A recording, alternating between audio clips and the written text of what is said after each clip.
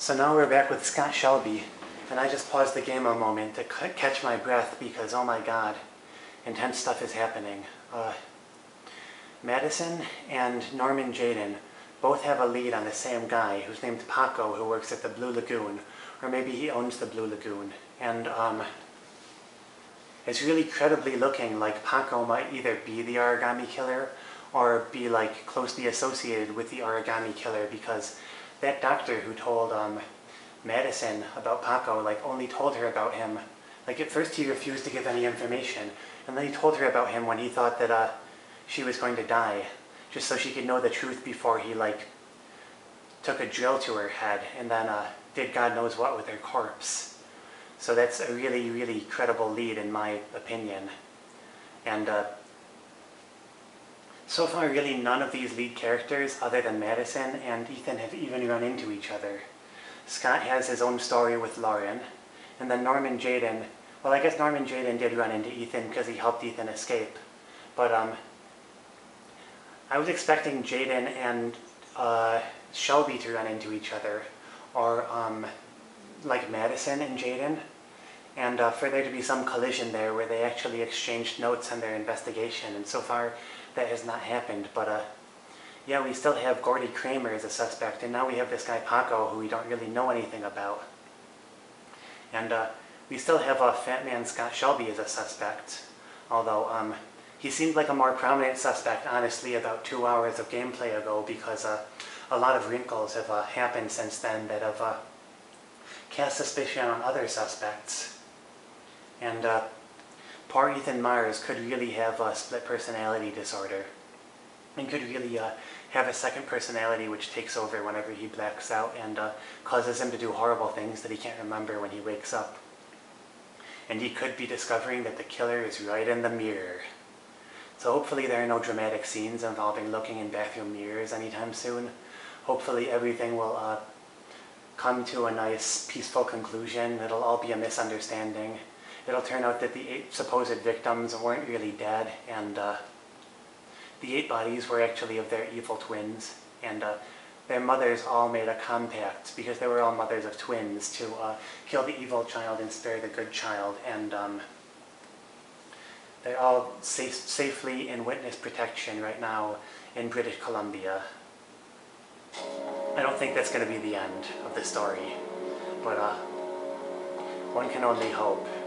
That's still sort of morbid, right? Like eight mothers giving birth to like twins and then like keeping the entire life of one of them a secret until murdering. So you think no, that, that's a very, very her? bad That explanation. makes sense. Didn't want him spilling his guts to us. And you suspect Gordi Kramer, right? Oh, him or one of his men. Gordi has the time and the means, not to mention the fucked up attitude to go along with it. He's only a suspect, but he's a pretty guilty looking one. Are these your files on the case?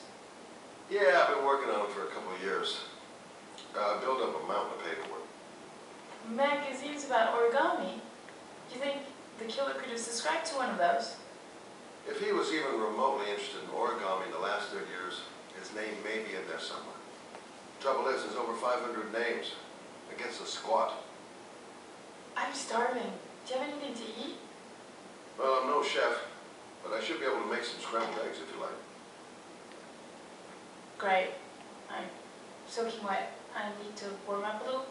Is We'll take a shower. Take a shower. I'll be I right read her mind. Go to my bedroom, it's the next door. Every single character in this game seems to have a shower scene.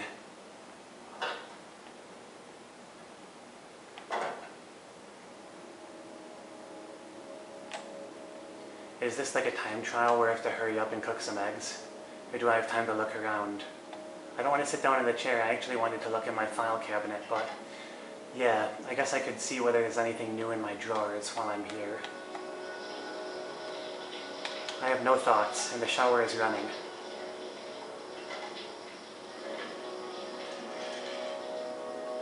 The controls in this game are a little wonky. Sometimes they don't really do what you intend the character to do.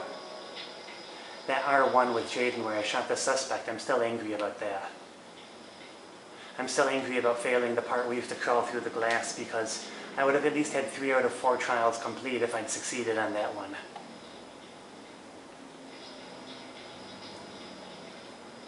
I've got eggs, I've got a plate. Don't even cook them, just put them raw right there on the plate. Be like, here's your fucking omelet. That's good, he pulls a pan right out of the drying rack.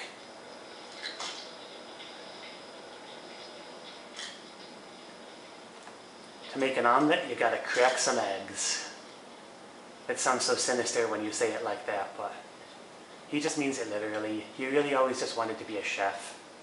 The thing about police work that he got involved in, that was just, you know, to pay the bills. He sits at home all day and watches Iron Chef in his spare time. Maybe he never was a cop, he just bought like replicas of a police badge and like uh, that guy, uh, Lieutenant Blake down at the precinct just humors him by pretending that he was a cop because uh, Lieutenant Blake used to know his mom and his mom uh, was a really nice lady who lives down the street and uh, he promised never to like disillusion her delusional son. I took the liberty of borrowing your bathrobe. Looks better on you. Well, I made an omelet just in I time if there was a time trial. eggs. Maybe I should have told Raw you. eggs? Oh, I didn't cook them. Sorry. I told you, I'm not a great chef. It's okay. What's that? The notebook I took from Manfred's place. According to this, about 30 clients bought spare parts for Royal machines in the last 10 years. The killer may be one of them. Oh, you know, checking out the alibi of thirty clients, one by one, that's a lot of legwork. Except that if we cross-check them with the list. The list of subscribers to Origami magazines. You still got that, right? Yeah, yeah, Lord, wait. Where did he ever find a list of subscribers to Origami magazines? I don't remember him ever mentioning that once. Maybe that was in one of the If alternate killer dialogue really options that I didn't A choose. Royal typewriter, and if he subscribed to an Origami magazine, his name should be on both lists. Well, Lord, uh, I mean, that's just an assumption, but yeah, I suppose. His name is here somewhere. Help me, we're gonna find him.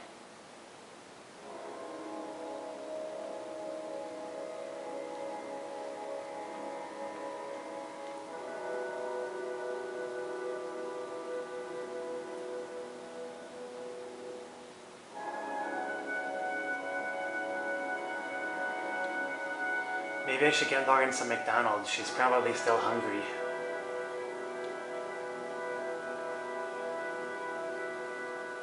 We didn't get to see Lauren's shower scene. We stayed in uh, Scott Shelby's point of view the entire time.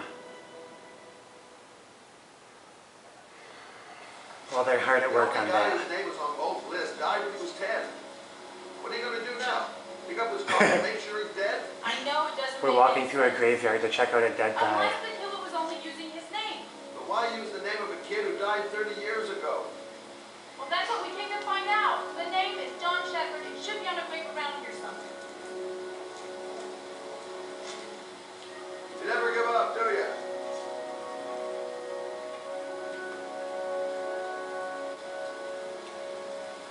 Have enough suspects already. We don't need to be looking for a dead one.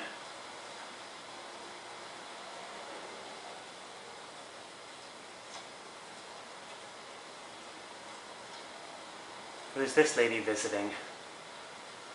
She's visiting her dear sister, whose name was Tina Miller. Uh, excuse me, I'm looking for, well, don't worry about it. Manage alone. Why would that lady know where John Sheppard was buried? Excuse me. I'm looking for the grave of a young boy who died about 30 years ago. His name was John Sheppard. And you wouldn't know where it is by any chance. The children's graves are in the next plot. Thanks. The next plot. So is that this plot or is that a different plot? Because I'm in the next plot. Arthur Hall. Sherry Coleman. Jim Williams. These are children's graves. He was only 11 years old when he died. Jill Collins died in 59. Wrote The Hunger Games. Tom Taylor died in 32. Made awesome guitars. Connie Evans. These are all like Irish sounding names. Timmy and Connie, Johnny Sheppard. Frederick, Frederick Lee. Avid abolitionist, helped organize the Underground Railroad. Ellen Moore wrote, Yo- wrote Utopia. Jeffrey Thomas served on the U.S. Supreme Court. Catherine Scott, famed Arctic, Arctic explorer. Ellen Campbell, she came, hooray, hooray. That's what it should write on the, uh, that's what the epitaph on that headstone should be. She came, hooray, hooray. Children plot.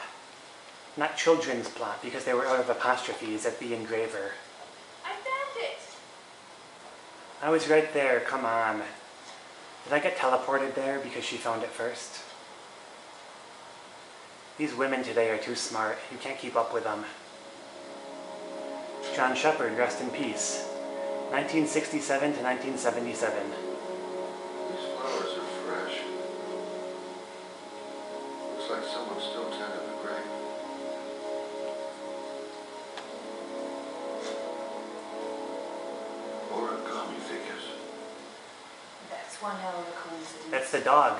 That's the same one that uh, Ethan makes.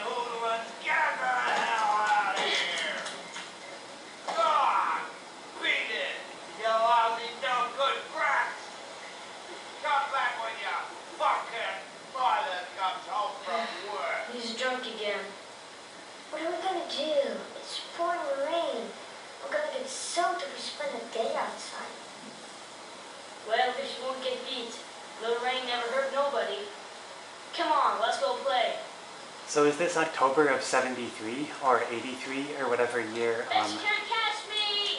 John Sheppard died?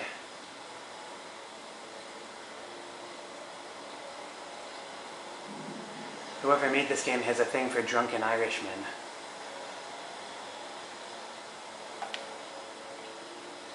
Or maybe just people with Irish names.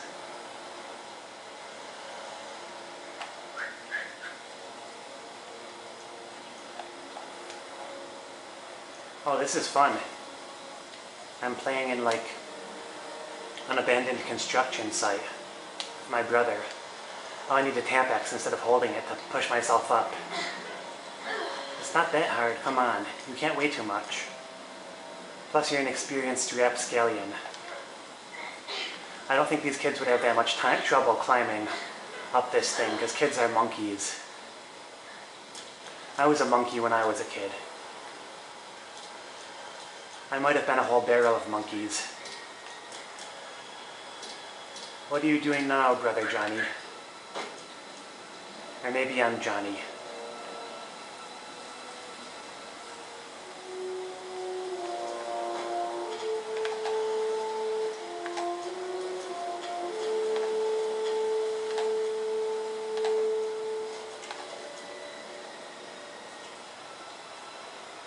Carefully. Move your ass. I'm waiting. He made a Tarzan scream as he did that. Move your ass. Can I crawl through the pipe? Watch your head. Oh, I need to keep holding down in an L1R1. Probably I'm gonna bump my head if I let go of down. nothing but a slow boat. My brother is more uh, athletic than I am, and he's not gonna let me forget it for a moment. Bet you can't do that. Do what? Alright, get a running start, whatever we're gonna do. Vault up. That was easy.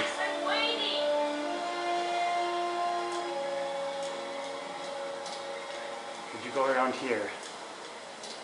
Up these stairs, maybe? Gee, you're nothing but a slowpoke. My dialogue loops a lot. On. They could have recorded some more dialogue for this kid. Instead of just having it loop.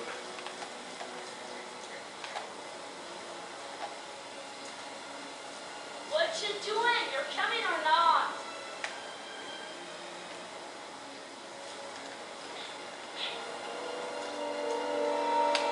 Oh no, now I have to shimmy across the beam. This could be dangerous.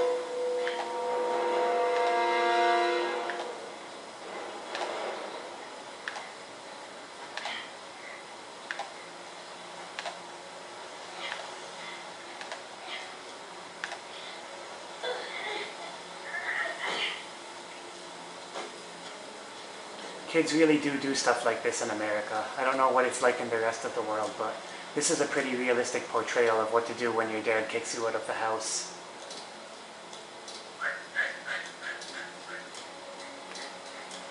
See back here?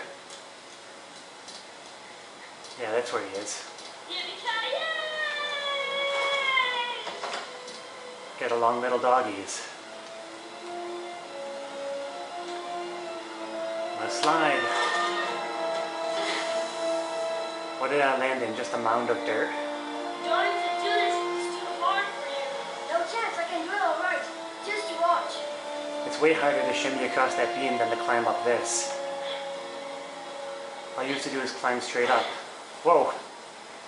He's slipping.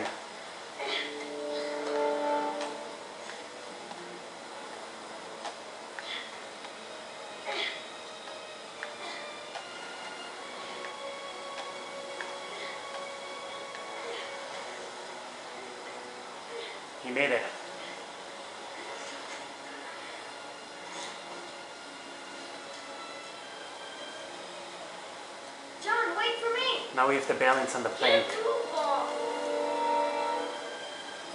Just balance very carefully. Yeah, yeah, we have to keep the controller centered.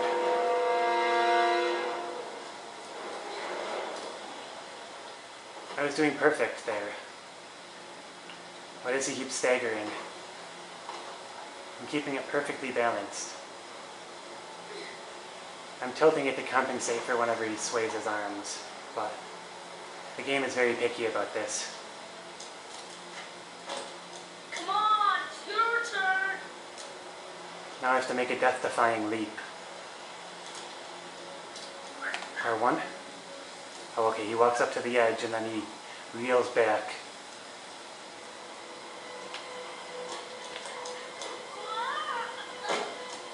It was a really long jump. There's no way I would have ever tried that. Now there's the jump of death, and it might really be the jump of death. Because somebody is probably going to die today.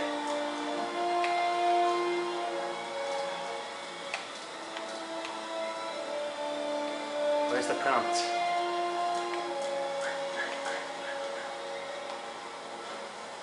R1, triangle, L2, L1, circle. I'm holding five buttons right now, ready for the jump of death. Here we go. he made it onto the dirt. Nobody died.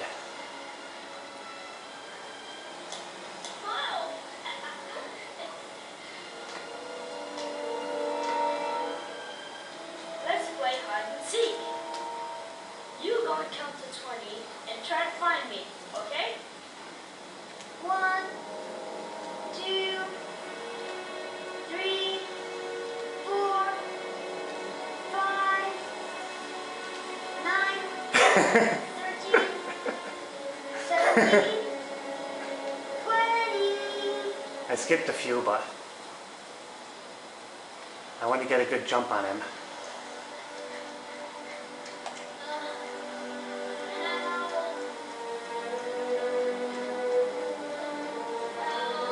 Help. You survived the jump of death. How can you be in trouble now? Oh, I'm. That's John's voice. John is his brother. John.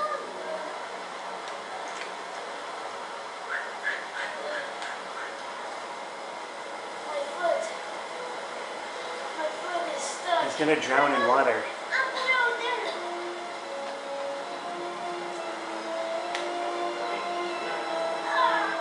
My god. I'm surviving. I mean, I'm doing it. It's just not. It's turning red.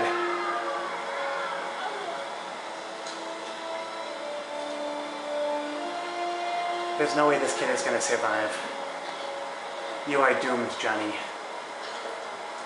What would you like your last words to be? Hang on, John. I- I'm gonna help. Just hang on. What are we going to do is not good for your last words. I think the water's rising. I'm hurrying. I'll be right back. Okay, I think the water's rising. It's going to be painted on your headstone. The poor kid never did find any help. His brother drowned. Pipe full of rainwater. The boy that lived, what happened to him? Well, all I know is he got separated from his parents. Got adopted. Of course he got adopted, so it could be anyone. Well, looks like a storm's coming. I guess I better be getting home. Okay, so now we know 100% for sure, absolute certain, that the origami killer John is. Sheppard drowned John Sheppard's brother. While holding his brother's hand. There's no way that the origami killer is anyone other than John Sheppard's brother. He could be the origami But um, he might have changed his name. Come on, let's get back in the car. The origami killer places his victims in a tank that will eventually fill with rainwater to recreate the way that his brother died when he was like an 11 year old kid. And he gives the fathers a mission to save the child who's in danger because his own father was too drunk to save his brother when his brother was uh, in need of help. That is the story. That's the only explanation. What's the matter? That man over there. Yeah?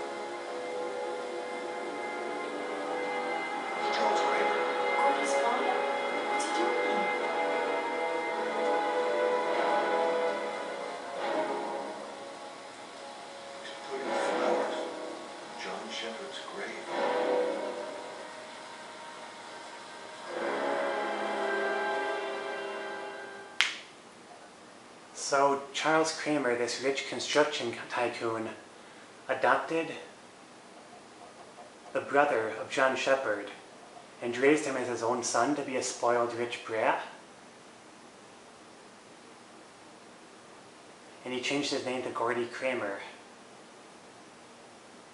I don't think so. Gordy Kramer looks too young to be John Sheppard because uh, John Sheppard would have been like 40 years old at least by the time this game this game came came out in 2010 and it appears to be set in 2010 based on the age of the other characters.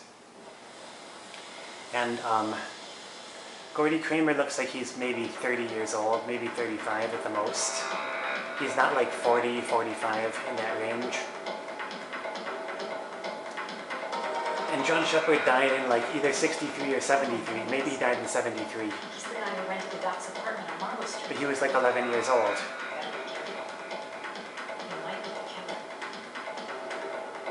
Paco could not be the killer. There's no way that um a guy named John Sheppard could have credibly changed his name to Paco unless he underwent massive, you know, like surgery to change his uh, ethnic features.